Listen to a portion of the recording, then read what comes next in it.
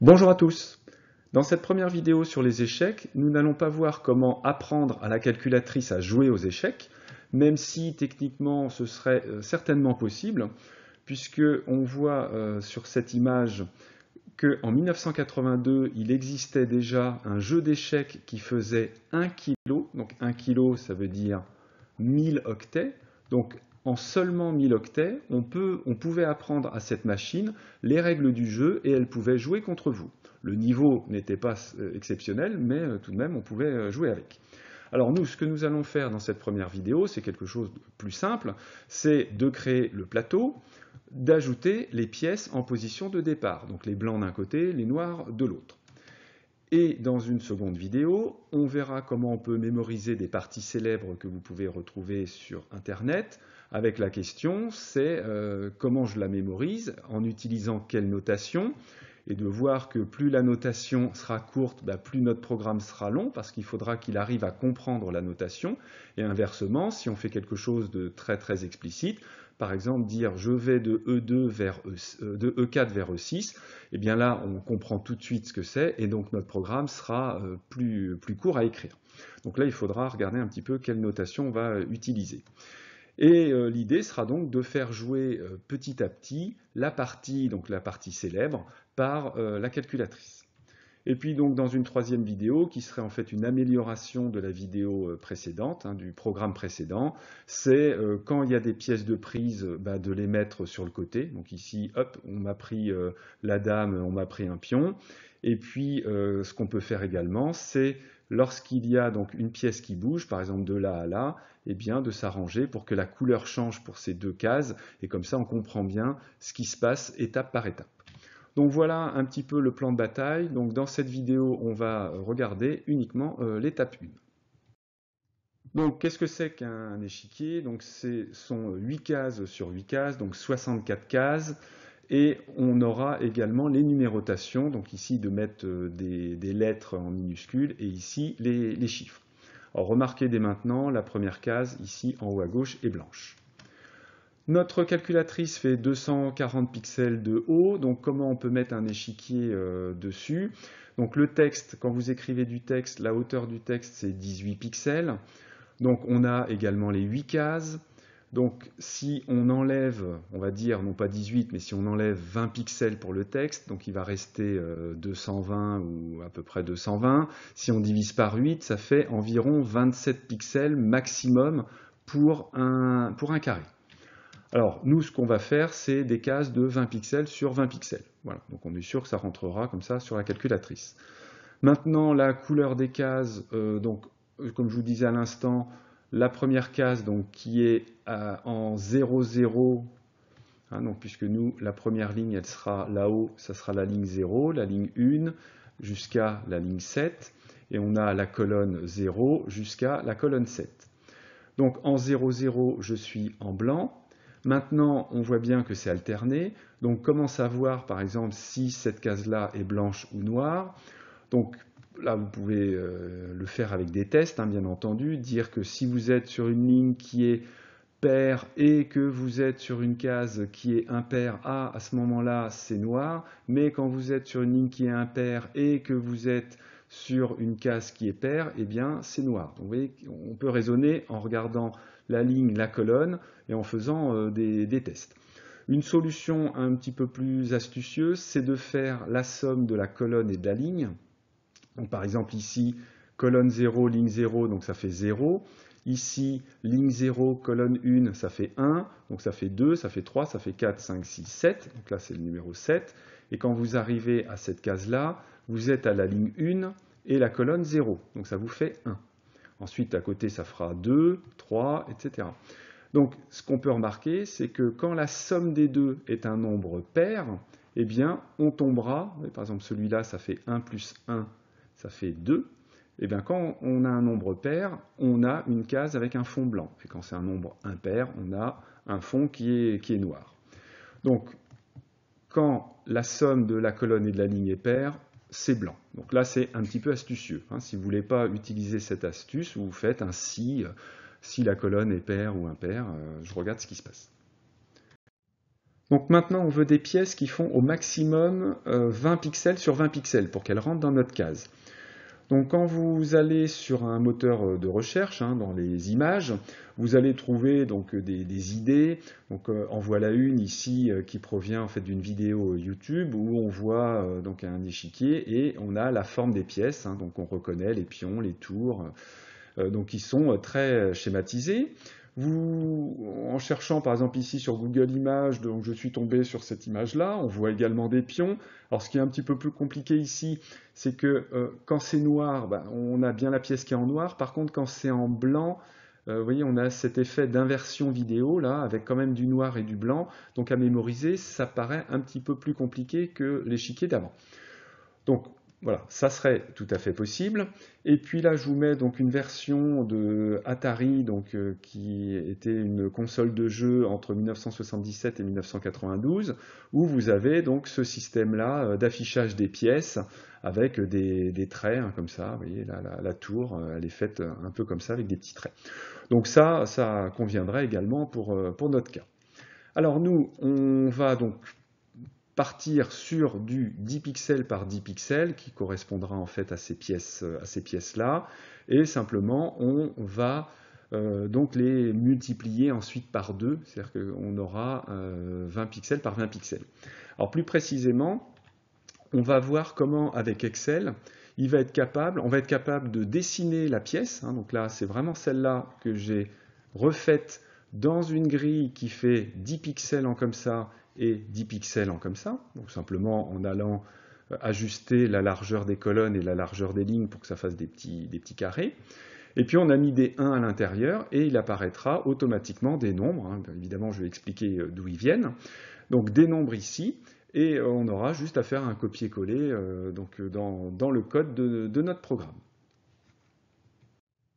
Alors on va passer à la création du tableur, donc que vous pouvez faire avec Excel ou avec Calc.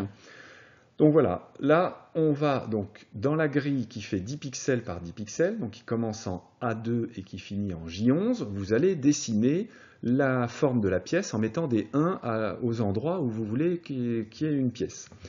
Ensuite, on va sur la première ligne s'arranger pour voir apparaître 1, 2, 4, 8 jusqu'à 512. Donc à chaque fois, vous voyez, on a multiplié par 2, multiplié par 2.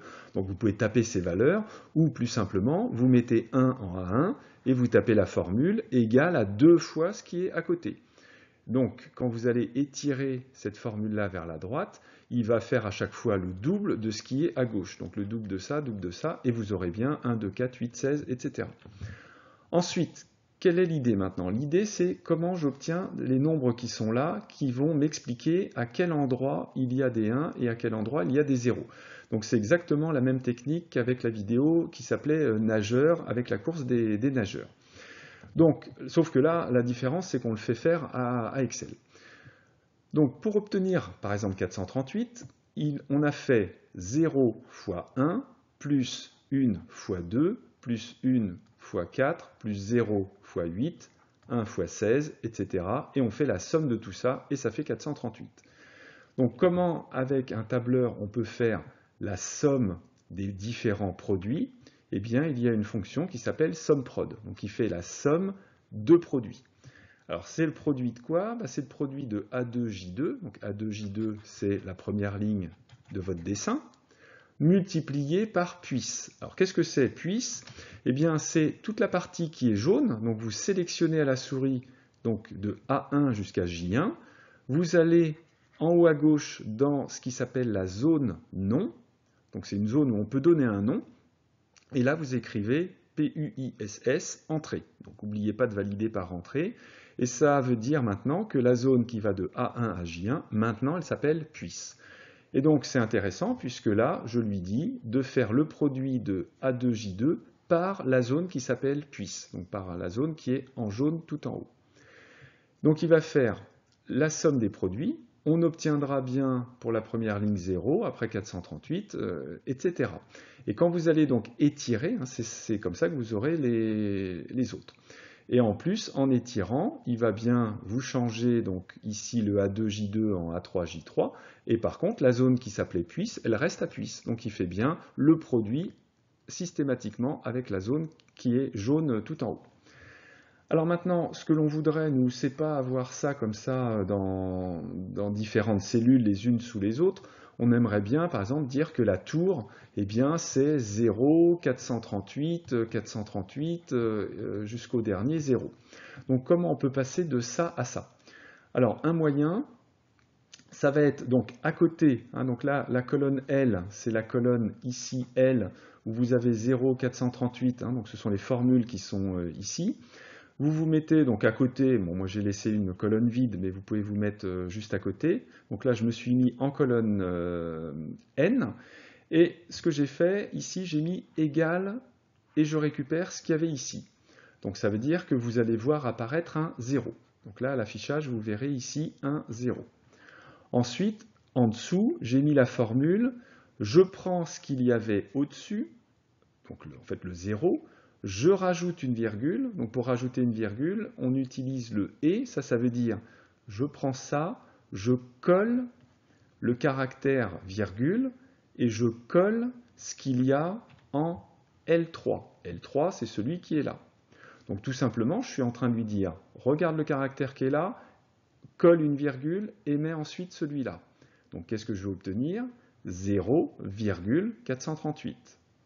Et cette formule qu'on vient d'écrire, si vous préférez, ici on initialise, on récupère simplement le premier, euh, l'histoire de démarrer, et maintenant la vraie formule, c'est celle qui est là, qui nous dit prends celui du dessus et colle à celui qui est donc là, en séparant avec une virgule. Donc cette formule-là, si vous l'étirez vers le bas, il va prendre celui qui est avant, il va rajouter une virgule et il va coller au nombre qui est sur la ligne. Donc il va faire 0,438, 438. Et donc on se retrouve avec 0,438, 438. Évidemment, on va étirer comme ça jusqu'à la fin, et donc à la dernière ligne, juste à côté du, 0, vous aurez 0,438, 438, 510, etc. Et donc il n'y aura plus qu'à faire un copier-coller dans notre programme pour la calculatrice. Et ensuite, donc, bah, de faire ça pour les différentes pièces. Alors voici justement les différentes pièces. Donc là, vous pourrez faire une, pause hein, sur la vidéo pour bien voir que ici on a les 10 pixels, ici on a les 10 pixels et vous pourrez vous-même, donc avec, Excel, hein, avec le tableur, euh, redessiner donc des petits 1 euh, aux différents endroits et voir que ce que vous allez obtenir, donc par exemple ici c'est le pion, que le pion, vous allez obtenir 0, donc ça correspond à la première ligne. Ensuite, ça fera bien 120, donc ça c'est les 1, 1, 1, 1 qui sont ici. Ensuite, 500, 252, 252. Alors pourquoi? Parce qu'on a deux fois la même ligne, hein, donc c'est assez logique. Et on doit même retrouver encore un 252 plus loin. Effectivement, il est ici. Euh, etc. Et donc là, vous avez la tour, le cavalier, le fou, la dame, le roi et à nouveau donc le fou, le cavalier et la tour. Et puis ici donc les pions. Donc là je vous mets les codes mais vous pouvez donc les retrouver par vous-même. Alors il s'agit euh, maintenant hein, donc d'obtenir ce visuel-là. Donc à la fois le plateau, les numéros donc de 1 à 8, les lettres de petit a à petit h et également les différentes pièces. Donc ça fait quand même pas mal de choses. Donc là, je me suis inspiré pour les couleurs de ce que je vous ai montré tout à l'heure, donc du jeu, euh, du jeu Atari, hein, donc avec euh, non pas du noir et du blanc, mais avec une sorte de bleu-violet et puis du noir, et puis les pièces noires qui sont en orange et les pièces blanches qui sont en blanc. Donc pour dessiner le, plateau, donc on va euh, télécharger Kandinsky, et puis donc ce qui va être important à chaque fois, c'est comment je dessine un carré. Donc là, pour dessiner un carré, c'est quelque chose qu'on a vu dans d'autres vidéos. Donc à une certaine position X, à une certaine position Y, avec une certaine taille et avec une certaine couleur, on va parcourir les T fois T pixels et on va mettre donc en couleur le pixel qui a la position X, Y, où à chaque fois donc on va se décaler donc avec euh, les deux commandes ici, i pourcentage t et i euh, slash slash t. Donc i pourcentage t, c'est parce que si je suis avec t et avec t, donc le i vaut 0, 1, 2, 3 jusqu'à t-1, donc ici t-1, et quand le i est égal à t, il faut revenir ici.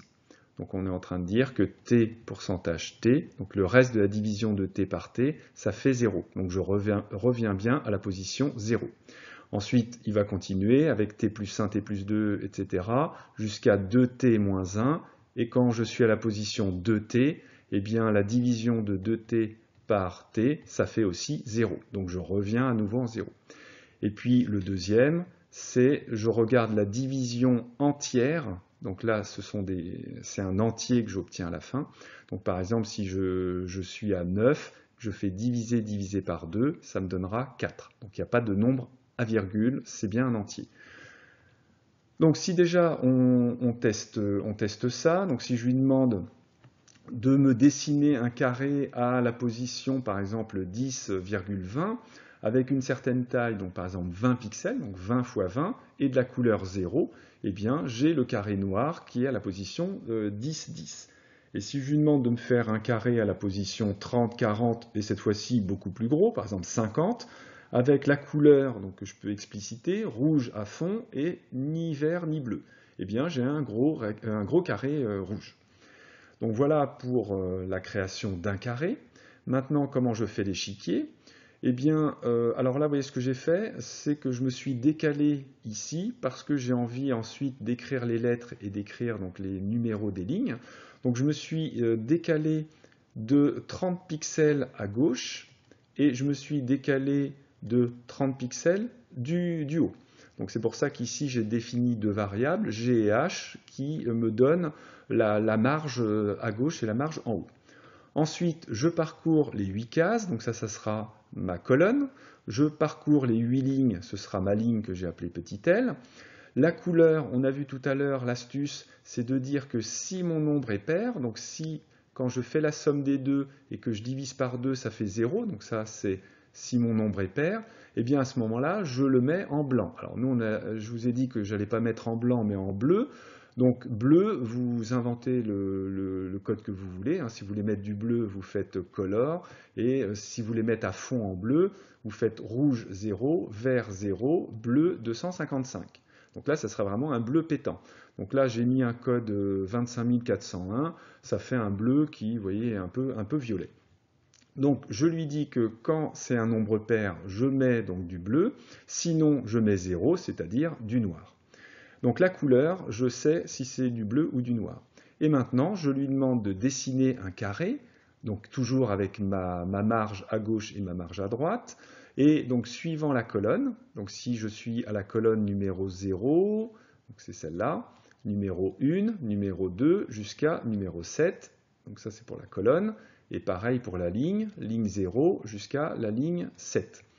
Et donc qu'est-ce que je fais? C'est que je lui dis de se mettre en 20 fois le numéro de la colonne. Donc au début, ça fera 20 fois 0, donc il va être juste au niveau du G. Et à l'étape euh, d'après, il sera le C sera à 1, donc il va se décaler de 20, il va encore se décaler de 20, décaler de 20, et on fait pareil, donc pour le Y, on se décale à chaque fois de 20 fois le numéro de la ligne. Donc pour la ligne, quand la ligne vaut 0, je serai ici, quand la ligne est à 1, quand la ligne est à 2, et donc je me décale bien vers le bas. Et donc à chaque fois, je lui dis de me faire un carré de taille 20 de la couleur que j'ai calculée juste avant. Et vous aurez donc le, damier qui va apparaître à l'écran. Alors maintenant, il reste le problème des numéros ici et des, lettres. Donc ça, bah, c'est de demander à dessiner donc, une chaîne. Alors ça va être quoi la chaîne? Donc moi, euh, j'en ai 8 en fait hein, à, faire. Donc il faudra bien l'écrire à, ce niveau-là. Donc pour chacune des colonnes, je vais en même temps dessiner. Hein, donc là, ce que j'ai écrit en dessous, il faudra bien le mettre juste après la boucle le pour, euh, pour elle. Il faudra dessiner le texte où à l'intérieur, il y a le numéro de la colonne plus 1. Donc quand le C il est égal à 0, eh bien on va lui demander d'afficher un 1. Ah, vous voyez qu'ici on n'a pas mis un 0, mais on a bien mis un 1. À quel endroit Eh bien, je ne vais pas me mettre en G, parce que si je me mets en G, bah, il va m'écrire le 1, 2, 3 à ce niveau-là, et ça ne va pas être joli. Donc je vais me décaler un peu vers la gauche. Donc ce que j'ai fait, c'est que je me suis décalé de 20 pixels vers la gauche. Ensuite, à quel endroit je dois mettre hein, Donc là, la, formule, c'est j'ai mon H qui est ici, j'ai euh, mes colonnes, donc 7, 7 euh, hein, donc en fait je me décale de une fois, deux fois, trois fois, quatre fois, donc je vais arriver euh, par ici. Et puis je vais, donc à chaque fois que le numéro va augmenter, il faut que je remonte. Donc c'est pour ça qu'ici il y a un moins, c'est qu'on enlève à chaque fois 20 pixels, 20 pixels, et donc plus le C, donc là je suis à C égale à 0, il va m'afficher celui-là, C égale à 1, il va m'afficher celui-là, jusqu'au dernier ici. D'accord? Donc on part finalement du plus bas et à chaque fois on remonte pour avoir les, chiffres qui vont euh, dans ce sens-là. Hein. Donc là, il faut le lire tranquillement. Et là, le plus sain, c'est vraiment pour la déco, c'est pour que ce soit, euh, on va dire, à peu près au milieu ici et que ce ne soit pas ni trop bas ni trop haut. Et maintenant, donc pour les minuscules, donc là, il faut simplement savoir que le caractère numéro 97, ça correspond à petit a minuscule. Et donc, je lui demande d'afficher le caractère 97 plus C. Donc, quand C vaut 0, bah, il va m'afficher le caractère 97, donc il va m'afficher celui-là. Quand le C sera égal à 1, il va m'afficher le caractère 98, qui sera donc petit b. Donc voilà, donc c'est bien petit a, petit b. Maintenant, pour la position, eh bien, je me mets en haut moins 20 pixels. Donc le en haut, ça veut dire ici. Et j'enlève 20 pixels donc, pour me mettre donc, à cet endroit, hein, donc un petit peu plus haut, là, ici, par ici, voilà. Là, ça doit être h moins 20. Et à quel endroit? Ben, J'ai la marge, j'avance de 20 en 20, et j'ai à nouveau fait un petit décalage de 5 pixels pour que ce soit à peu près au milieu de la case. Donc là, à vous d'ajuster, euh, mettre un 5 ou un 4 euh, ou, autre chose.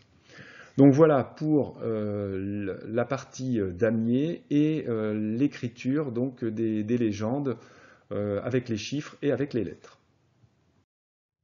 Alors je vous ai remis ici le code qu'on avait utilisé dans l'animation avec les nageurs qui traversaient la piscine donc qui permettait de dessiner en XY la position du nageur. Donc le nageur, c'était 16 euh, pixels.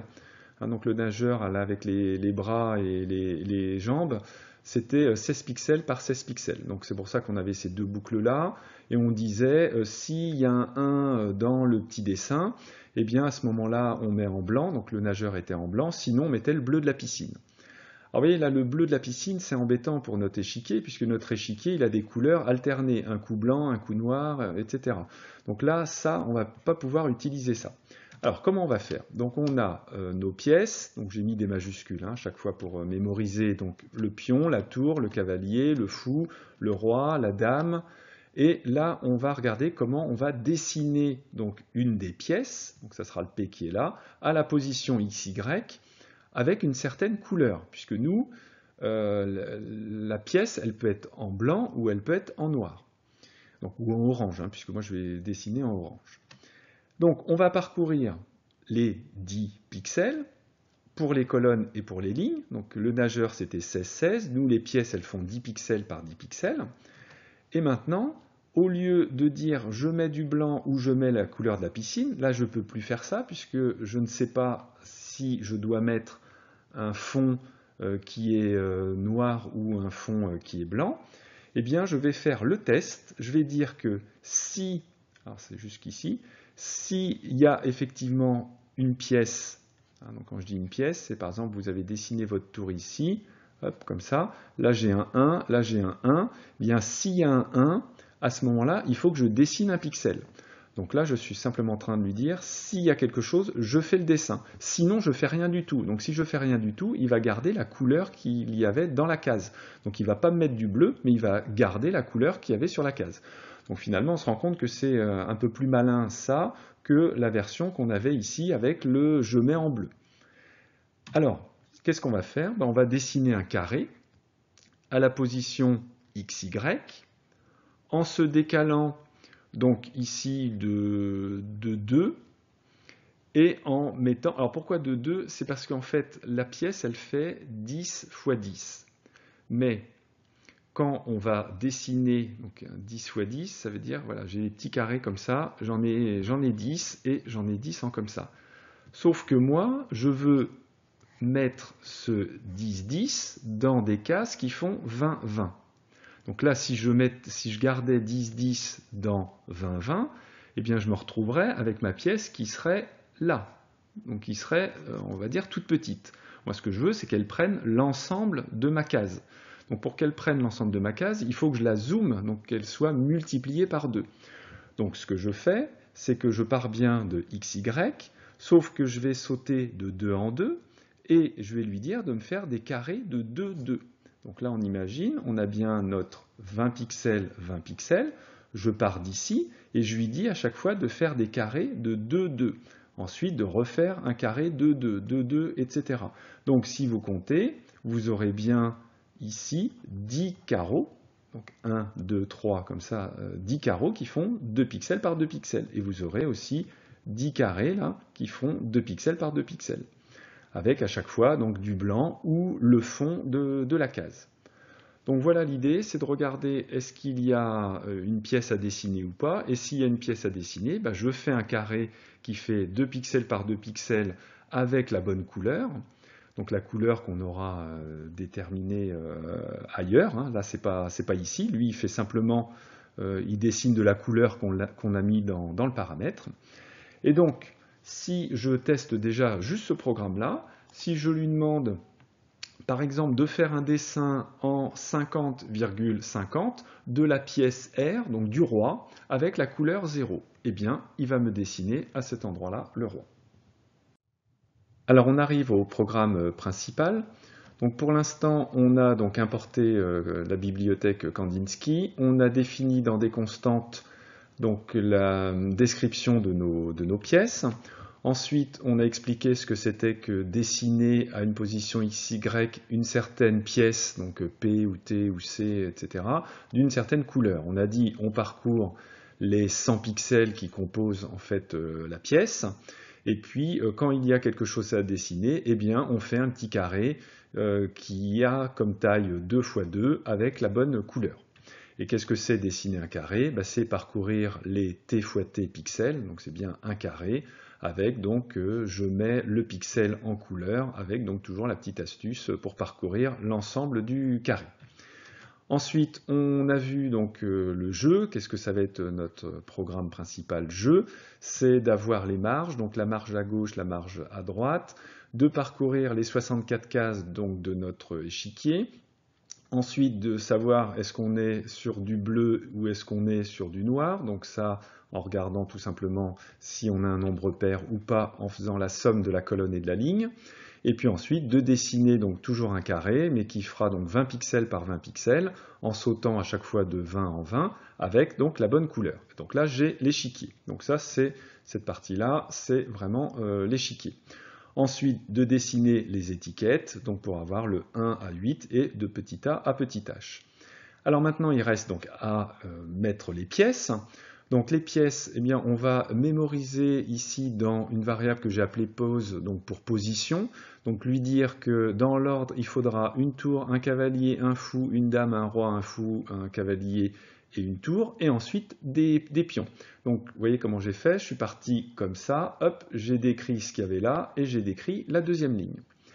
Donc là on se dit, bah, c'est pas mal, on peut maintenant parcourir les 16 pièces, donc je vais appeler par exemple petit v in range 16, donc qui va aller de 0 à 15, et puis lui dire, bah, après, t'as qu'à me mettre la tour, ensuite le cavalier, ensuite le fou, euh, etc. Mais là, quand on fait ça, on se rend compte qu'il y a quand même un, problème. C'est que si je lui demande qu'est-ce qu'il y a? C'est de, voir la différence entre T. T, c'est la tour. Donc si je demande T, il me dit c'est une liste avec 0, 438. Donc là, il n'y a aucun problème. Maintenant, si je lui demande qu'est-ce qu'il y a en pause crochet 0, donc quel est le premier élément de pause, il va nous dire que c'est pas T, mais que c'est la chaîne T. Donc ici, j'aurai T entre guillemets. Et donc T entre guillemets, ça n'a rien à voir avec la liste T. Donc à ne pas confondre T avec guillemets T. Donc la question c'est, moi j'ai ça, ça c'est dans pause, comment je peux lui expliquer que ça, ça veut dire la variable qui s'appelle T? Eh bien ça c'est tout à fait possible en Python. On lui demande d'évaluer la chaîne T.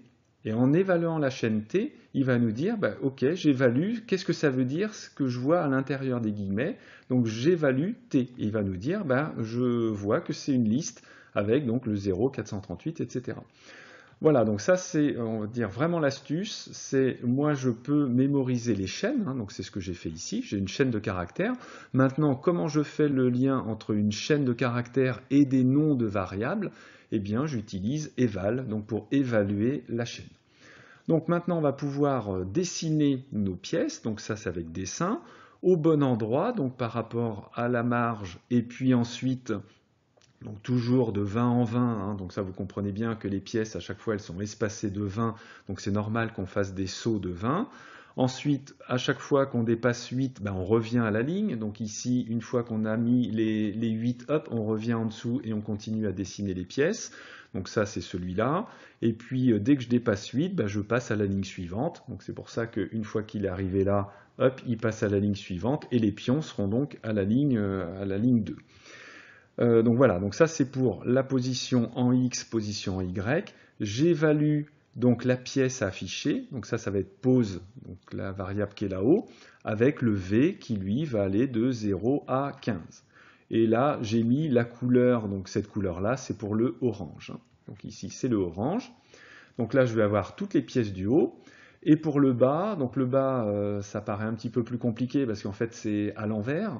Donc là, on va toujours avoir la même position avec G et puis, euh, hein, donc ici la tour, bah, la tour est au même endroit, la dame est au même endroit, le roi est au même endroit, donc ça, ça change pas. Par contre, c'est pour la hauteur.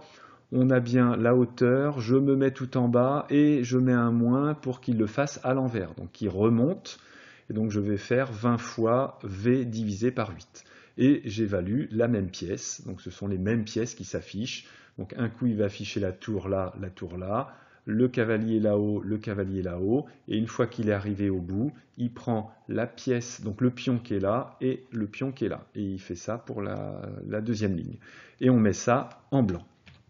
Donc voilà le programme qui dessine euh, l'échiquier et les pièces.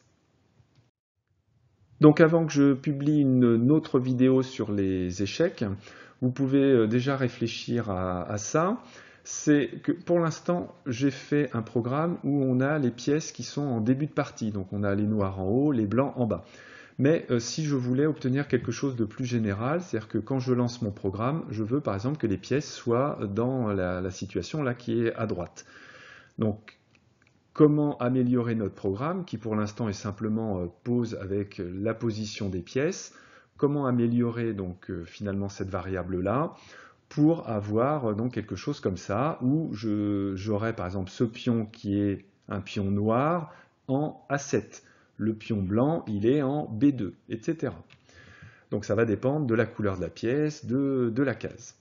Et puis euh, de regarder également sur Wikipédia quelles sont les notations qui sont utilisées aux échecs. Donc vous verrez qu'il y a des notations algébriques avec tout un tas de variantes on voit la figurine, euh, notation longue, notation concise, et puis d'autres types de notations avec euh, les, coordonnées. Donc qu'est-ce qui serait euh, peut-être pertinent si on a envie que la calculatrice nous affiche les différents mouvements hein, donc, hop, elle nous enlève ça, elle nous dit bah, maintenant le pion, il est ici, etc. Donc voilà, donc à bientôt pour la suite de cette vidéo.